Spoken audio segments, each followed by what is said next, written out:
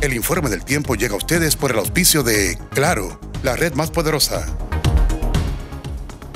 Amigo, bien señores, bueno, el mal tiempo en estos momentos en Estados Unidos ha cancelado varios vuelos de JetBlue, eh, por ejemplo el, de, el 2275 de International Bradley en Connecticut, el 1503 del John F. Kennedy en New York y el 1289 en Newark, New Jersey. Así que muy pendientes, se sigue la precipitación. Vamos a ver la más reciente imagen del satélite y lo que está pasando en cuanto al tiempo eh, para la costa este de Estados Unidos. Observen la cantidad de precipitación, de sistema frontal que se mueve hacia la costa este de Estados Unidos, generando muchísimo muchísimo eh, tiempo malo ¿no? para esa área. Ya Texas está ahora eh, descansando un poco de la precipitación y el sistema de baja presión que estaba afectando mayormente eh, ese estado. se está moviendo hacia aguas del Golfo de México, pero observen en este momento cómo esa cantidad de lluvia se sigue moviendo hasta los grandes lagos, generando lluvia fuerte, lluvia helada y hasta nieve un poco más hacia el norte. Aquí está la más reciente imagen del radar. Observen en este momento cómo se sigue moviendo toda esta cantidad de lluvia. Ya se espera también que afecte próximamente en los próximos días el estado de la Florida y Nueva York que está ahora mismo generándose bastante eh, lluvia helada y alguna nieve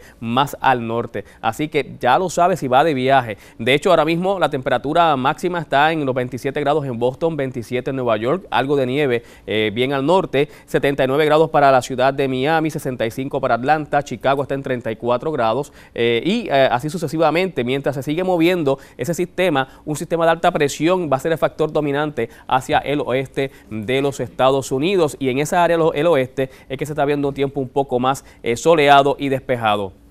Para esta noche se espera entonces que Atlanta esté en temperaturas máximas de 35 grados, 34 para Nueva York, 29 para Boston, hacia el norte de los Estados Unidos. Las temperaturas están bastante frías, Chicago estará en los 18 grados. Para mañana si va de viaje continúa mal tiempo en la costa este, aunque eh, algunos aguaceros estarán todavía afectando algunos sectores, las temperaturas estarán en algunas ciudades como por ejemplo Nueva York en los 35 grados, 31 para eh, Boston y para Atlanta cerca de los 67 la alta presión entonces seguirá siendo factor dominante mientras se sigue moviendo poco a poco hacia el este y se espera que siga siendo el factor dominante en los próximos días en los Estados Unidos. Hasta aquí la información del tiempo en los Estados Unidos. Este informe llegó a ustedes por el auspicio de Claro, la red más poderosa.